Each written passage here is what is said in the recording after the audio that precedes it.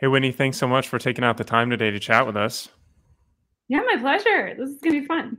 Yeah, yeah, yeah. Um, well, like I was telling you before we started recording, I saw you back uh, in the day on, or heard you on Bigger Pockets. So wanted to get you on and talk to um, my community and also the listeners about um, because I've seen you from afar and I've seen what you've done and heard what you've done and kind of wanted to have you go back over kind of you know relive those early investing years to where you're kind of at today um, so you can kind of build up the audience on how knowledgeable you are in making sure that you get some passive income throughout doesn't matter if you're in like your corporate life and you want to do it on the side or something where you want to jump into later down the road after um, you know spending 10 years in corporate life. So if you could just jump into it. Yeah definitely. Well so right now um, currently i'm the director of investor education here at passiveinvesting.com and we specialize in private equity, and multifamily, self storage, um, hotels, car washes, and um, first position uh, real estate debt. Um, you know, really stabilize assets that can help produce cash flow, equity growth, tax benefits, and diversification for you know passive investors, especially if your higher and best use is in your time, or maybe you're a retired landlord, um, or higher and best uses in your job. You know, maybe like a doctor, lawyer, engineer, tech worker. Um, and so that's really what I get to do. I get to just educate people on ins and outs of passive investing you know, since uh, having raised on over 20 deals myself, but also, um, you know, as a passive investor in over 50 deals, you know, I can speak from both sides of it. Um, but that's not where I started out. I don't have a real estate degree. I didn't. I didn't come out of the womb like in, in a real estate family. I actually um, was in public health, and back in 2002, I bought a house with a significant other, and the relationship fell apart. Um, and I had a house and all the bills, and it was scary. It was scary times. I was in my, you know, early 20s when this happened. And so I, what do you do? I stuffed the house full of roommates that didn't mind living in a construction zone. Um, YouTube didn't exist. So I got the Home Depot 123 book and uh, did the rehab largely myself. I'm like, I'm a smart girl. I can figure this out. my my dad had taught me. You know, he was a you know um, his one of his hobbies was woodworking. So I was used to power tools, very large ones at that. I'm like, I can figure this out. It's not that big deal. People used to build their houses, right? Um, I did a lot of things right and a lot of things wrong. Um, but you know, about 11 months later, I panicked and sold the house. I, my whole vision was sell this house, get out from underneath it. But when I sold the house, that was the slap in the forehead. I'm like, man, I made more at my day it, with this house remodel than I did at my day job that had me traveling 80 hours a week. Um, I actually hadn't because I was house hacking. I had roommates. I hadn't been paying for any of the utilities or the mortgage or anything like that. I'm like, whoa, hold on maybe I made a mistake by selling that house. Okay, I'll go do this again. And so did a few more projects, somewhat well, especially well, um, others not so well. Um, and uh, anyways, long story short, um, you know, I my husband joined me very quickly um, in this process, and we did a few projects together. We're actually living in our last live-in flip. It's a, a 10-year flip. nice. nice. Uh, and but we had, we found we were doing really well building up buckets of equity, but we couldn't figure out how people retired off of this. It wasn't yeah. passive income. I was like, all we have is another job. I'm like, then somebody said, why don't you keep one of your flips? I'm like, oh, brilliant. Keep it, put tenants in that. like, you know, don't have to try that out for me. Yeah. Um, so I we scaled up a portfolio of over 30 single family rentals once we figured out how to analyze everything correctly, uh, mm. that, that took a house and a half to figure out how to analyze things correctly. Yeah. And, and then we hit our next level of achievement, which was um, we were doing well, still at building equity, getting some cash flow in the belt, but it was just very time intensive still. It was leverage, it was passive, we had everything with property management, but I, had, I, was taking care of three family members. I had a little child at home. We were both working full time. You know, securing all the loans, making all the decisions across 30 single family properties. I'm like, there's got to be something more passive than this. Yeah. Uh, you know, we were still, we knew we were going to have our, uh, our active projects. We knew we were still going to continue to, to do flips and um, do BRRRR investments and stuff like that. We knew we'd still do that, but I'm like, I can't see myself owning 80 single family properties. Um, I just, the, it just, sh- I shuddered thinking that, or a hundred, or, you know, over a hundred or a thousand. Um, so at the same time, and I'd actually started investing my IRA in single, um, multifamily real estate passively in private equity deals. And I kind of thought it was like a, a bond or something like that. And I just kind of like set it, forget it. I'm not going to look at it. And then I was like, wait a second, hold on. I might be onto something here. And um, that was like, that's true mailbox money. Yes, I have a lower return. I, I could do it myself and make a higher return. But at the same time, there's I have to calculate in my return on my time.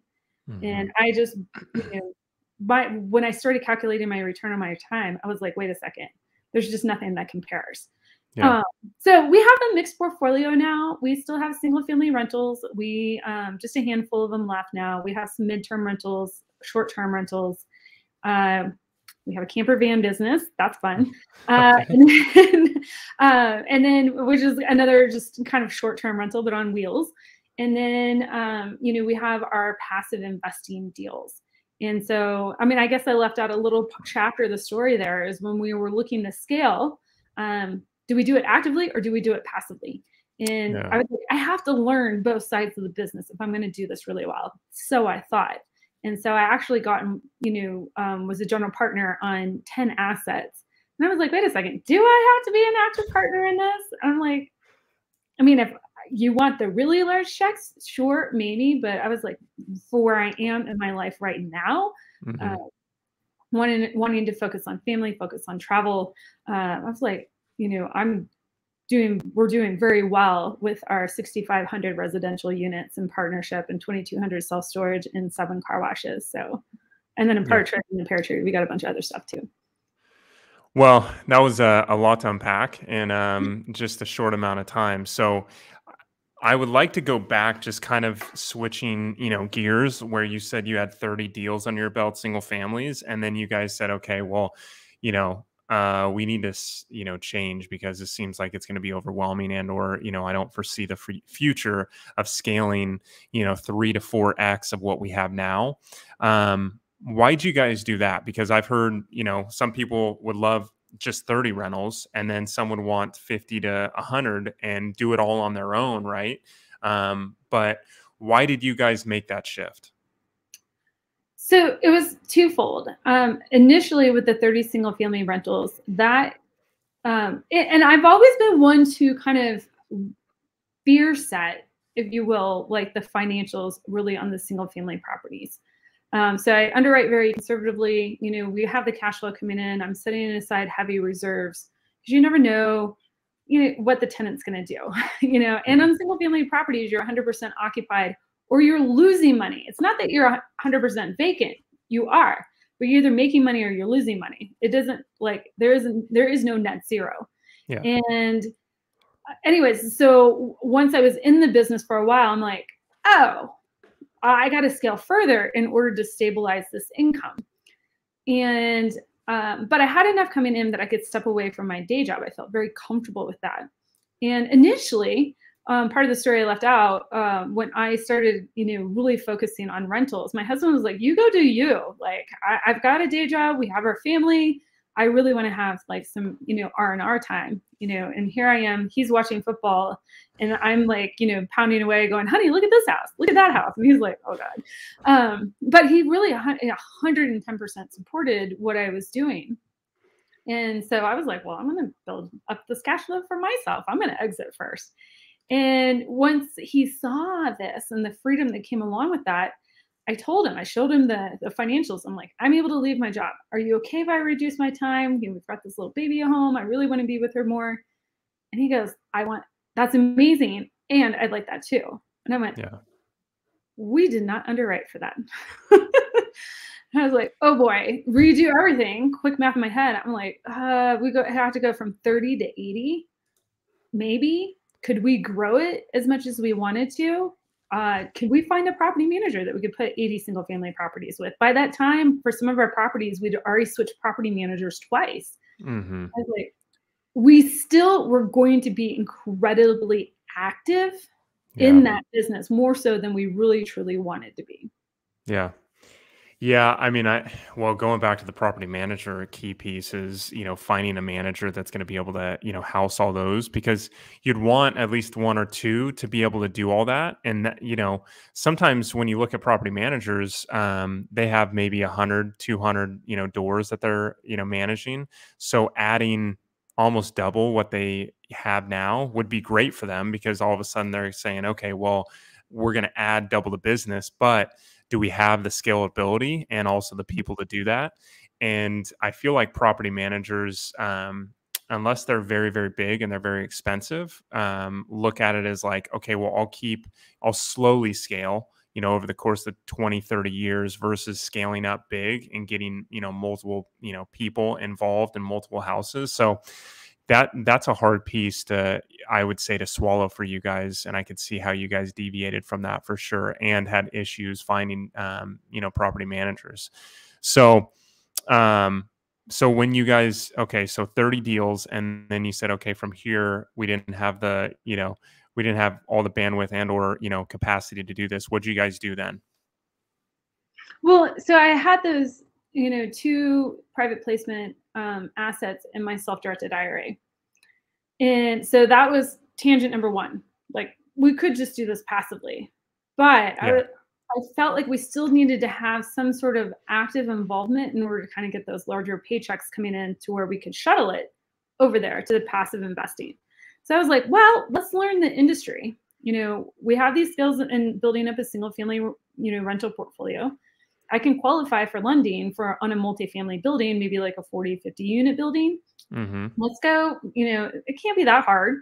to get yeah. a building. Yeah, um, yeah. You know, it turned out to be a little bit harder. Um, our first deal was a JV deal on a 52 unit building. And um, you know, we ran into management problems again. You know, uh, we switched leasing agent twice. And the second time, the leasing agent actually committed, I mean, in short, fraud. They wanted their, uh, their yearly bonus and were just essentially forging leases um, to get their year end bonus. Nice. and I'm like, how did, why would you do that? Like, now you don't have a job. yeah, yeah, yeah. So now we're behind the eight ball on that. Um, but it, I mean, I learned a lot in that process. And then um, I also had the pleasure of working, um, you know, with a private equity group and help, you know, a new private equity group and really helping them scale their portfolio on larger multifamily assets. But it was kind of incremental steps. So we were doing passive and then also the active strategy. Mm-hmm. And really, we found that we, what worked really well for us were to use our our single family and small multifamily portfolio as like a little ATM to continue to feed the passive investments. Gotcha. All the while building the network and the skills um, to you know go buy our own building if we wanted to at some point in time. Yeah, yeah, yeah. Um, when you guys were mm, switching gears the networking to get there um, how how did that go? Because first you're doing single family right? And that's that's fairly easy. I can go you know on the mls outside of being an agent and just a uh, a person without a license. So you can go just have an agent send you listings or you can go on zillow trulia redfin realtor.com but it's different when you change from that to going to scaling to to different properties one and two multifamily you know mobile home parks uh, car washes all those other things. So tell me how you guys switched mindset towards doing that versus doing single family on on the actual networking side of it. Well it was you know when you hit a level of achievement this is you know a quote by gary keller and jay papasan like you have you, you're lacking a person or a process. So mm-hmm. we had translatable skills, right? Um, what we didn't have was the network. And I think that's where we really had to, instead of relying on ourselves and maybe one or two other people to help bring us deals, help fill our deal portfolio, we really had to step. And when I say we, me, I was the one largely hand, um, handling this um, side of the business uh, on networking and finding partners that had those connections because I didn't. I didn't. What were my skills? What are the skills that I could bring to the partnership? That's what I had to focus on. And then I needed to go find that person or process that could help me achieve my goals that had that network, those the, the those relationships already in place. Most people probably would try to go figure it out themselves and get entirely overwhelmed. Um, one of the books I love um, that I read during this time, trying to figure out, I'm like, oh, I can start my own syndication business, no big deal. I read the book um, Best Ever Apartment Syndication by Joe Fairless, and I got to the mm. end, and I still recommend this for limited partners to read as well. I'm like, one, you get really good. You learn the business, you learn who all the players are, you learn the questions to ask, you learn how to underwrite. And then at the state, same time, it might scare the pants off of you yeah. to see all these moving parts. And you're like, yeah, no way. Um, and, and, there's an exit for that person who says no way like go invest in somebody else's business that's doing yeah. this that has those puzzle pieces solved um, you know it's you're just taking on a different role for me like i i really wanted to to experience that and i thought i mean you, you don't go in to kind of test the waters and dip your toe you go in because you want to do it and i thought i really really wanted to do it and i did um, and i did it and i'm you know, taking kind of a step back, you know, where I'm at with my family right now to kind of like take a breather, kind of coming out of this COVID time. My daughter, she's 10 going on 11. She still likes me. There'll be a time that I can step back in more, more yeah. higher level capacity. Yeah, for sure. Yeah, I mean, I think um, you know when your kids, you know, that six to thirteen range, you have a different um, mindset comparatively to you know when they're older and or younger, um, depending on also what what capacity you are in their life as well. If you're you know the breadwinner or vice versa. Um, so so yeah, I mean, for one, networking. For two, reading and educating along the way, especially leveling up, is huge to me to make sure that you can mm-hmm. analyze deals and or at least speak the language when you're having those conversations with the people that you want to get in front of. Um, and then, you know, I would say mindset shift is, you know, one thing that I I foresee, especially with you guys going from point A to point, you know, B on single family to multifamily and or, you know, bigger investing.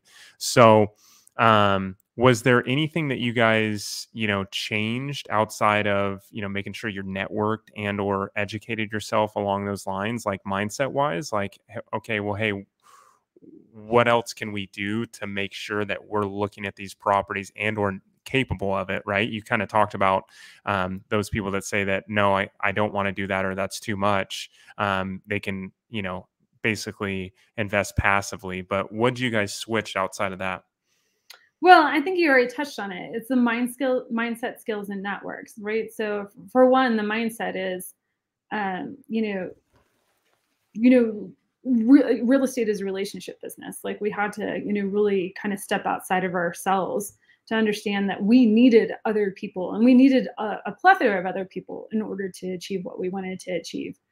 You know, skill wise, um, you know, we had this, we had, like I said, we had translatable skills. I think one thing that we had to change there is the speed at which we were underwriting and the volume of which we were underwriting.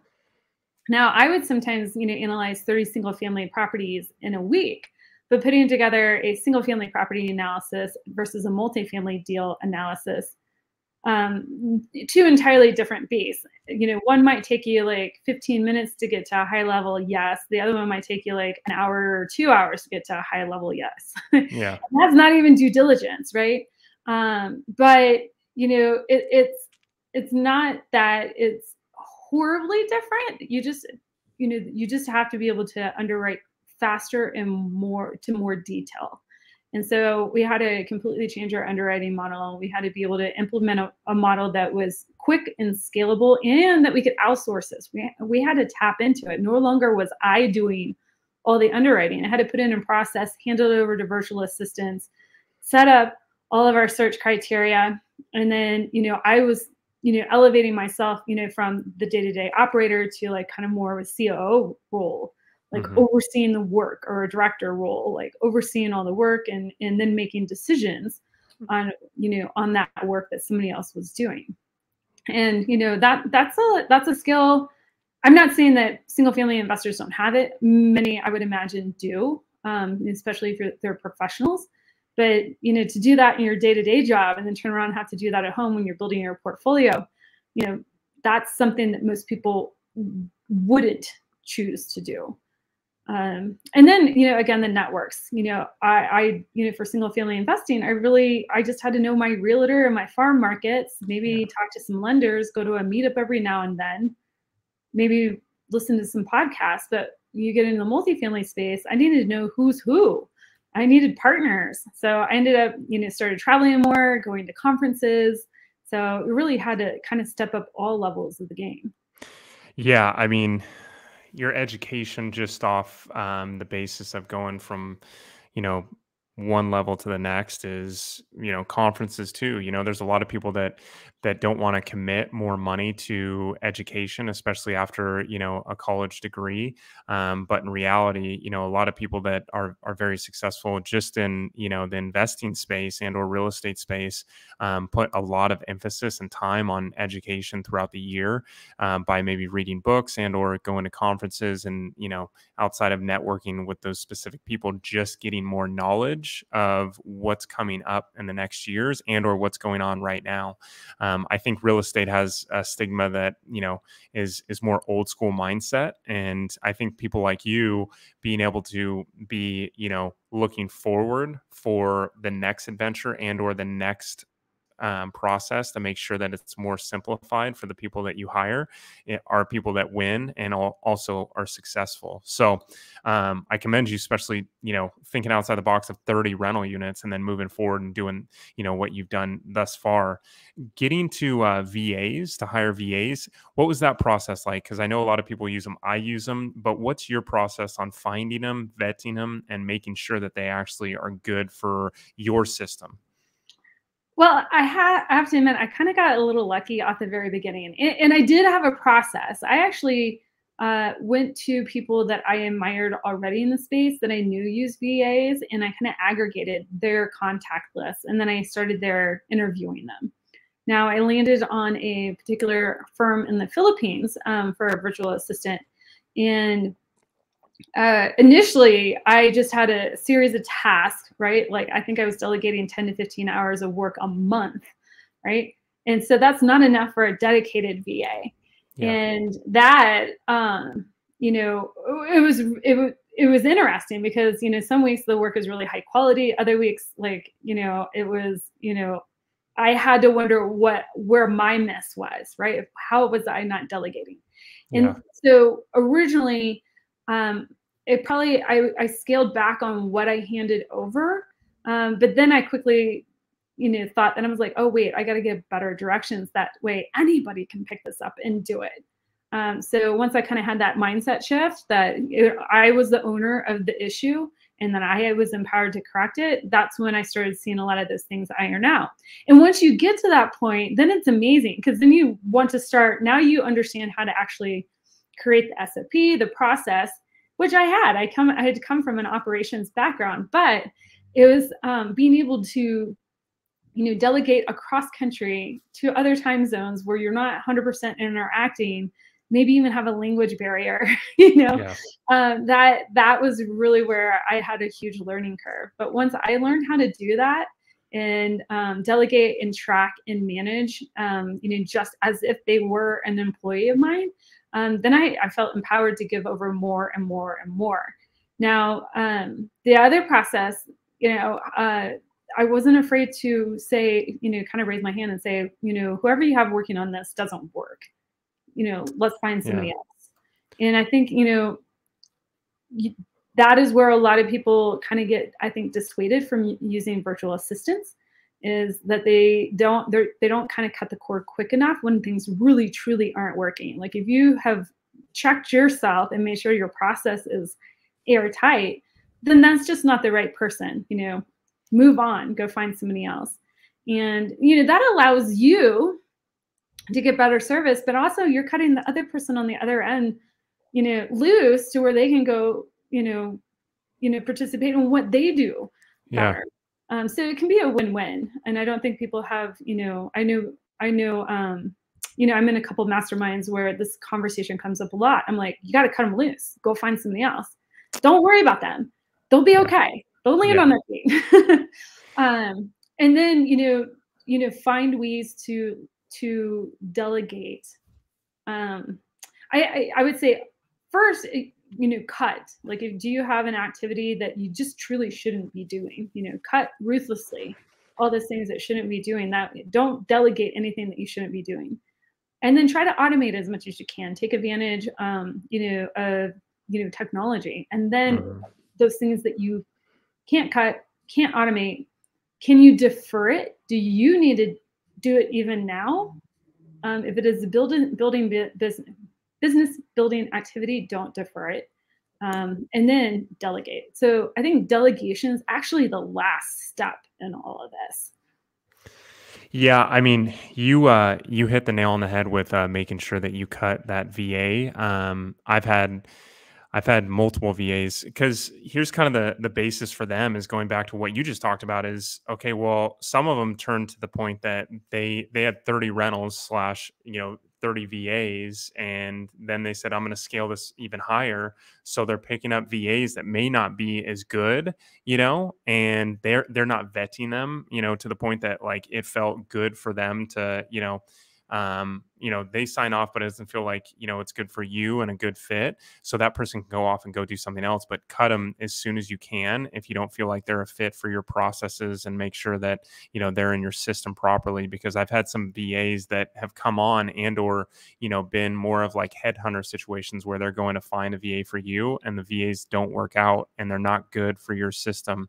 And they're, you know, they may be working on 15 different things and yours is the last priority of that week and it should have been the first priority ultimately because you hired them to do that. So um, I, I think you you had some you know good golden nuggets there because hiring vas is just like hiring an employee. You really need to weed out the ones that aren't good for your you know your system and and your you know company. If your company's small or big you got to make sure you're weeding out the you know that 10 15% that aren't good um, and really mold that company to what you want it to be. Yeah and if they are good if you find a diamond in the rough or a gem you know how can you delegate more? How can you become more of their share the hours right? And that's really how vas are organized. You know they're trying to piece together full-time jobs and of course if you're delegating 10 hours a week and they all of a sudden something comes across and it's 20 you know they have to make decisions for themselves and their family as well. So i think it's really you know when you find somebody that's great how can you double down and leverage them even more yeah, for sure. I mean, how can you take that person and make them, you know, kind of the headhunter for you and and take them and put them into your system where you can say, okay, well, hey, I need three more because obviously, you know, you're getting bogged down with all the work I'm sending. So this is a system, you know it. So go out and find two or three other ones that you can hire underneath you and delegate that stuff, and then you take the more high level stuff. So, no, that's that's key for sure to be able to uh, even have that conversation. A lot of people, like you said, um, just hold on to their VAs or just you know write off VAs completely because you know they don't feel like it's a fit for their business because they ran into a bad one. Yeah, I mean, you got to break some. Got to what what is the saying? Break a few eggs to make an omelet. So. Yeah, yeah, yeah, hundred percent. Um, so where'd you guys? I'm actually curious because I have a um, I have a friend that's um, I think you just bought a car wash, but where'd you guys get um, the point of buying car washes? And tell me a little bit about that side of the business and investing. Yeah, definitely. So, um, you know, I'm with a private equity group, um, private uh, passiveinvesting.com. And, um, you know, we'll do, we've specialized in multifamily. And that's really where, you know, we, we launched the business. We brought on self storage about a year, almost two years ago uh, and then uh, car washes and hotels. And you know, with our car wash opportunity, we're looking specifically at express car washes. So not your in bay DIY car washes where you're dropping the quarters in and you pray your 10 year old doesn't spray you with the hose. Not yeah. the in bay automatics, which are like attached to a gas station, and not the full service where you have an army of people vacuuming your car and then it goes through maybe a short little tunnel to get washed and then you know an army of people like wiping it down and drying it. So we're really and the reason why we're focused on that express tunnel car wash opportunity is because it's the best of both worlds right? You can get that high touch clean product with low overhead um, mm-hmm. lower overhead And so you're getting high margins. It's a high margin cash flow opportunity. You can run it with um, you know two to three full time employees, but also car washes in general. I mean, it's a 33 billion dollar business annually and growing. Um, the whole industry as a whole is growing at 3.9 percent. But when you look at the express tunnel, you know, sector, it's growing at um, you know almost doubled that but and it's a very it's a new business. It's very mm-hmm. fractionalized. There's no third party management. So you have a lot of mom and pop owners oh. um, that own these properties and only about 15% of those owners actually have five or more locations. And really it's that when you hit five or more locations now that mom and pop owner can elevate themselves out of being operators and maybe hire a regional manager for those five locations and so what did it, I hearken it back to self-storage in 2006, seven and eight, where um, you, you really have this um, early market consolidation opportunity, um, providing that you can do a couple things. One, that you can solve the third party um, property management opportunity, mm-hmm. Um, which we're, you know, building our own third party management uh, company for our portfolio that we're developing of 200 or 250 to 300 locations. And two, and I these are coupled together, is that you stay away from um, opportunities where you don't own the land or the brand. And so, you know, you know, primarily you want to make sure in the entire deal that you own the land, the entire operations and that you own the brand. So that kind of knocks out a lot of these franchise opportunities, which is what we're seeing in the environment today. There's a lot of development, or excuse me, investment, passive investment opportunities, but they're franchise ground up developments. Now, I'm not knocking them, um, but you mm-hmm. just have to understand the risks that come with that. Um, you know, those type of opportunities you know do you do you actually own the land do you control the profit and loss statement do you control the future business opportunity and then you know how insulated are you against other operators within the brand that may not have the exact same standards that you do for your yeah. operation yeah, that's that's actually really good. I haven't heard that as um, own the land and the brand. That's um, that's that's good and and a key piece to I would assume making sure that it's the right investment. And um, you guys, was that something that you guys figured out right away, or was that something that you guys really educated yourself on before even buying the first one? Yeah, so we actually started educating ourselves, um, you know, on these opportunities. You know, so we opened up our, we purchased our first deals a little over a year ago, okay. and um, we started, you know, educating ourselves about, you know, almost two years before that. Now, um, we are now considered one of the industry leaders in the space just um, because you learn so much when you have to, when you're scaling a third party management company to take over these assets. So we're not cutting our teeth on one to five locations. We're cutting our teeth on now we have 18 locations and we by the end of February, I think we'll have gotten up to 25, right? So we're we're scaling rapidly. Um, we're looking to add another 100 locations under our belt this year. Um, we're also developing as well, um, you know, in order to hit that that that unit count. But yeah, yeah, yeah. It's it's such an amazing opportunity. It really what it is is it's a business. I think this is what a lot of investors don't fully have their head wrapped around. You know, you know, most investors, especially passive investors, are looking for yield. They're chasing yield. Mm-hmm. Um, and I know investors are very frustrated right now by the interest rate environment, and they're not able to get that yield so much uh, in single family properties. Uh, maybe a little bit, you know, I, have seen a lot of people exit out of single families and go to midterm rentals and short term rentals in order to hit that yield opportunity. They're a little disenchanted with multifamily right now. Um, they're they're looking at self storage expansion deals to maybe pump up the yield a little bit car wash is an operating business, cash flowing business. You know, we can move it from individual customer pay to an MM monthly recurring revenue model. Um, you know, so really stabilize the income and the asset. We can accelerate the growth of the income and the asset. Um, you know, but it throws off some really nice cash flow opportunities. But it is a business that has real estate as mm-hmm. a component of it.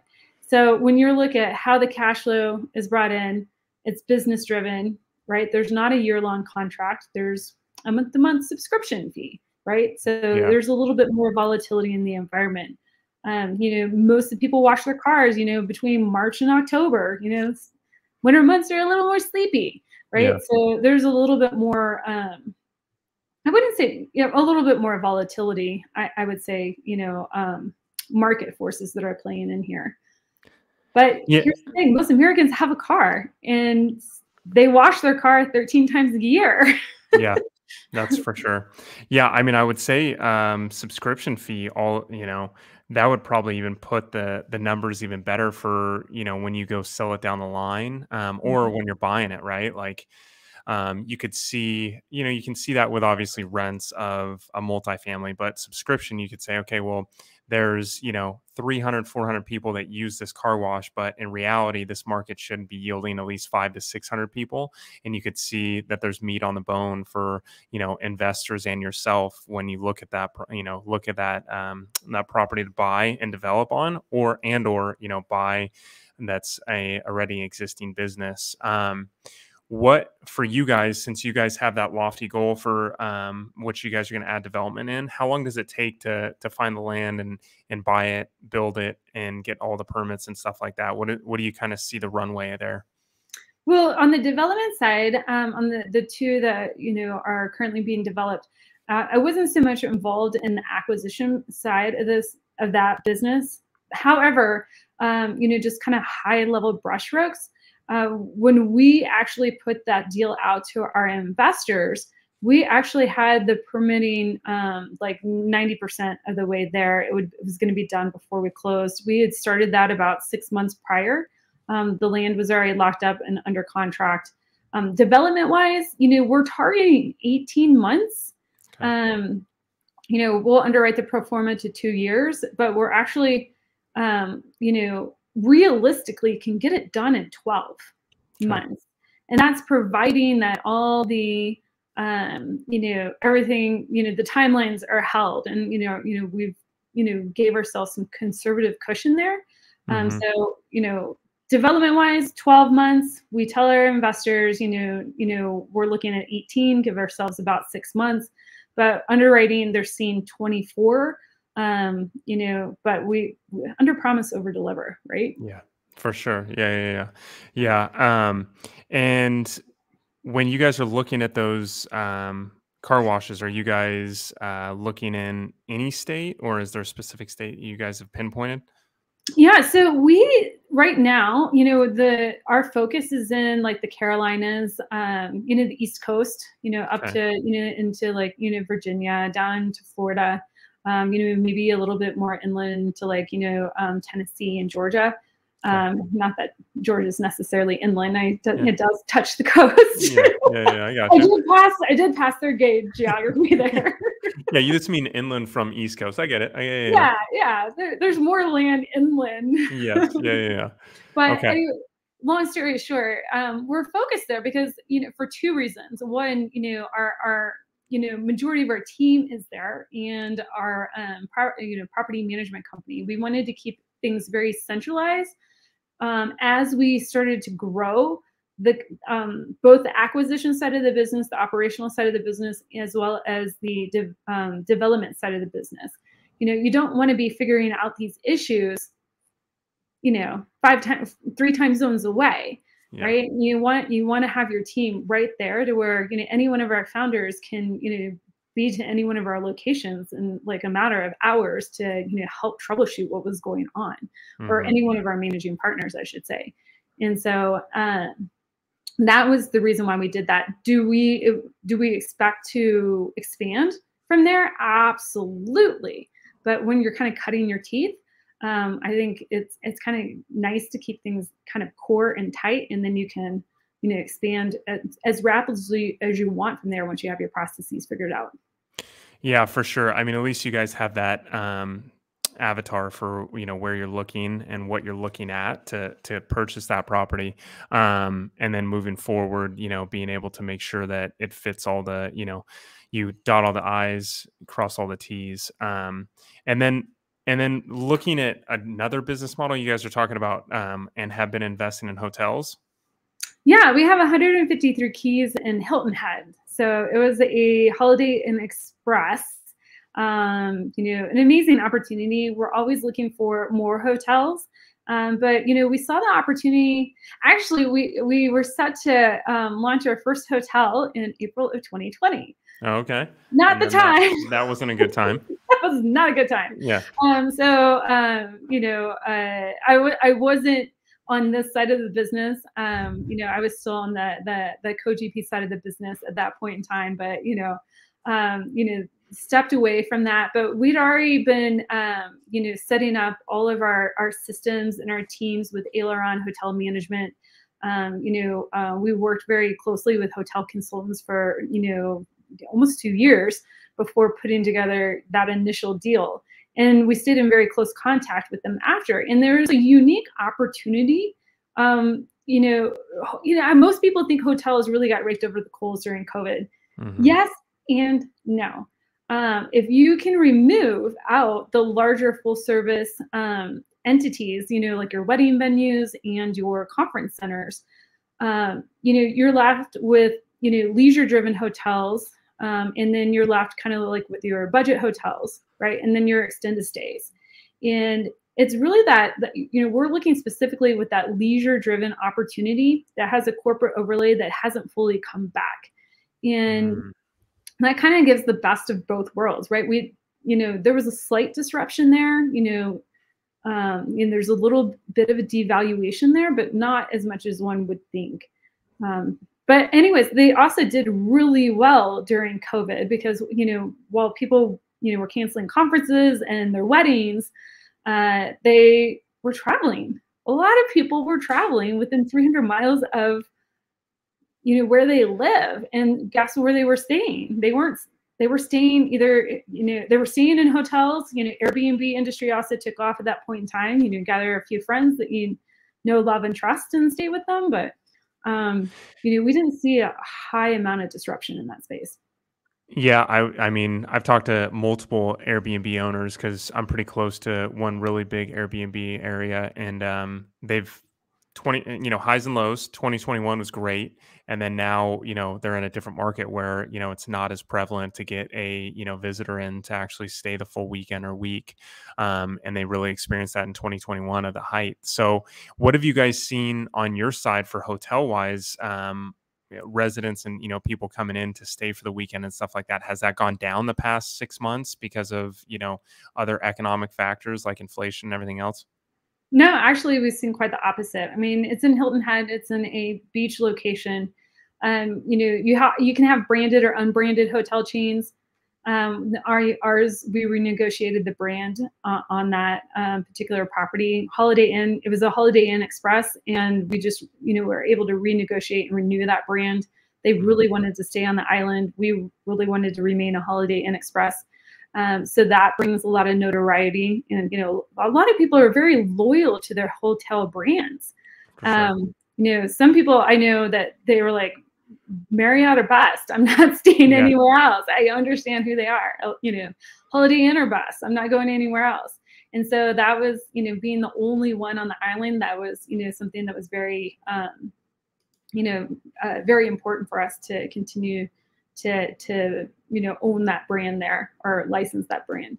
Um, also, you know, with Hilton Head, you know, conferences have started coming back. You know, shorter conferences, three or four day conferences have started to come back, and you know, our our property is being utilized for that as well.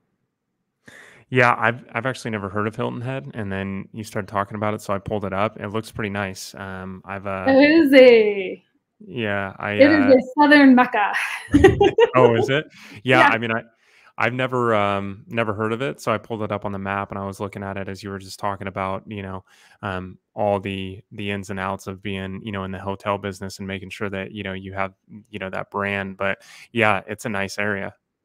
hmm Yeah, so we have the leisure travel component, and you know, think about it. Um, you know, for people, um, you know, will will you know inflation impact just you know that a little bit? Yes and no, right? Right. Like um, your your local drives that are about 300 miles away, the, those type of vacations, regional vacations, aren't getting detoured that much. Now, what you do have is seasonality in you know that particular area.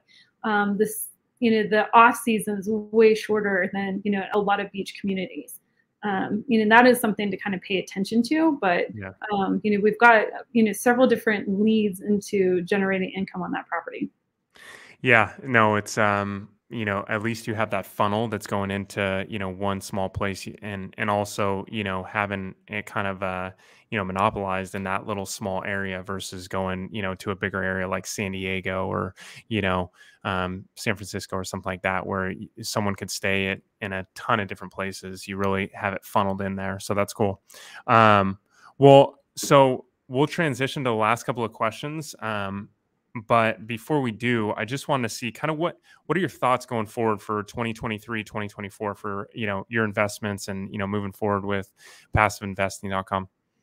Yeah, so, you know, we're continuing to invest. There's money being made in all cycles. I think um, really, you know, this would be a, you know, um, kind of tips for anybody, you know, just making sure that any asset you go into has multiple pillars of wealth building, you know, capital preservation, cash flow, equity growth, um, tax benefits, smart use of leverage, super important right now. This is not the time to get into any uncapped adjustable rate mortgages with zero extensions. Making sure that mortgage situation, that lending situation is very buttoned up. And making sure you're an asset that you know has high quality demographic metrics associated with it that you know multiple drivers in that market multiple drivers to the income of that property very mm-hmm. important right now Sure. I think you know that alone can help stabilize anybody's asset. You know, so that that's really the rules of thumb that you know we're continuing to build our personal portfolio with. As far as like what we're doing at passiveinvesting.com, um, you know, we're sticking with our same conservative um, underwriting. I know everybody says that, right? But you know, there's a difference between saying it and actually doing it. Yeah. And so, um, you know, we're if it means that we have fewer deals coming on the market or opportunity for invest, but you know the assets that do come up for investment are smarter mm-hmm. to invest in. That's a win. Yeah. Um, we also see the opportunity, you know, self storage. There's a wonderful opportunities. Car washes. There's wonderful opportunities. I think there'll be plenty of those in 2023. Um, multifamily deals. I expect some slower growth in those opportunities. Um, however, but if you think about it, a lot of operators got themselves into adjustable rate mortgages mm-hmm. and maybe didn't have a cap on their cap rate and they're getting raked over the coals. I think there's going to be a lot of pressure for for operators to exit those assets as that um, that rate adjusts. Either the cap disappears after three years, or the rates just been adjusting on them, you know, drastically um, I think in you know Q3, Q4, and the Q1 2021, 2024, I think there's going to be some buying opportunities. Um, you know, yeah, for- yeah. I even think into you know 24 and 25. I think there'll be you know quite a bit, kind of like what you just talked about, not having that cap, and then also you know. Um, even people that have, you know, were going to sell and they were going to sell to an operator that had a, um, interest only loan, those people had to pull out. So they got to sell at some point if they didn't find another buyer for it. So that's another opportunity, you know, lying in the weeds, especially with uh, with people that are looking for multifamily deals. I think that that's going to happen a lot too. Yeah, I mean, um, I listen to all sorts of you know um, you know economists about where you know reading the tea leaves, looking into the crystal ball of what's going to happen. I think one thing that's really sitting for me right now is that you know we always we all always knew that the the music was going to stop or slow down yeah. tremendously but we i think everybody was really kind of banking on that recession to be five to six years out i think just everything that happened with covid and runaway inflation um, and with the interest rates that just accelerated it to come here. So i'm really excited you know for what happens once we kind of make it through in the next you know few months to a year year year and a half for sure. Yeah, I agree. I think um, you know the next year and a half will be interesting, especially for the real estate market on the single family side and multifamily and or you know investment commercial side. So, um, well, hey Whitney, we'll we'll transition. So one thing um, I always ask my guests is there some type you've talked about systems a lot in this interview, but is there one online resource and or app that's helped your business today be more efficient?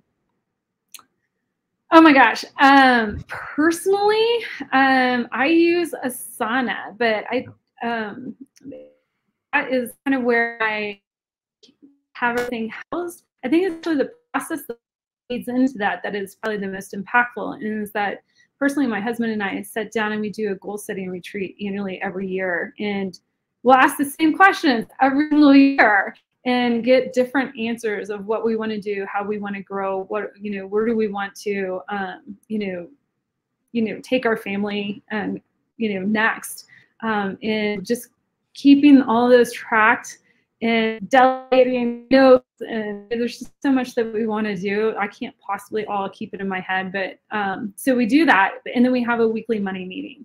Um, and it can be just as silly as like what camps are our daughter going through going to? Yeah. like do you have her for day? Have her for day? But also like you know keeping those goals that we actually said that we wanted to do over 2023 and getting them done. Um, mm-hmm and sometimes you know we front load that work.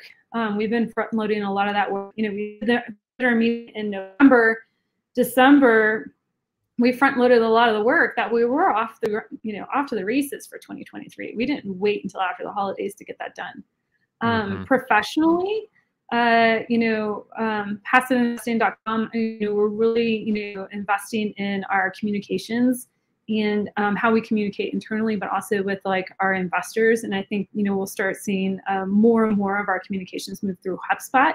That just allows us to be able to kind of target and track, um, which sounds like oh like marketing terms, but you know from a, a, a investor services perspective, that can be very powerful as well. For sure. Yeah, yeah, yeah. Yeah. And you instill confidence with, with those investors too, you know, making sure that you're on point and on brand, you know, kind of going back to your brand. Um, okay. Mm-hmm. And so any books that you can recommend that you've read in the past or recently that's helped you out? Um, one of my favorite that I always point people back to is the one thing by Gary Keller and Jay Papasan. I, I read it every year and every time I read it, I pull out something. It's like staring you in black and white in the face. And then you're like, you read it. I'm like on the sixth time reading it. I'm like, how did I miss that? I just yeah, don't understand. Yeah. Or like it finally clicks. You're ready to accept what they were trying to say, right? They're so far in creating such a elegantly simple yet powerful process. You're like, oh, that's what they meant by that. Yeah. Um, so um, you know that book, um, and then I'm really focused on my personal health. Um, you know, I always have been, but even like you know, um, moving into my later years as a woman, um, there's a book um, out there called Fast Like a Girl, and I don't mean like running fast. I mean like learning about just you know what foods fuel like your body and your horm- hormones and um, again elegantly simple elegantly simple but super powerful. Yeah. Good good good. Um no this is uh this is good especially you know the one thing um i feel like uh you know people always kind of talk about um and i think that that's one you know that's not up there on the on the huge bestseller book but there's a lot of people that read it and a lot of people that take a lot of value at it like like yourself. So um well before we get out of here where can people find out more about you Sure, absolutely. Um, if you want to reach out to me directly, you can do so at passiveinvestingwithwhitney.com. It's a subpage on the passiveinvesting.com website. Um, but only there will you get some free goodies and my ebook on how to get started as a passive investor. And that's the only place you'll get access to my calendar if you want to talk about anything real estate and see our open deals. Well, awesome, Whitney. That's that's perfect. We'll put that in the show notes too, so people can go there. Um, I appreciate your time today and actually going through step by step how some of these processes to get to where you're at today. Yeah, my pleasure. My pleasure. It's been so fun. Yeah. Thank you so much. Yeah. Bye. Have a great day. You too.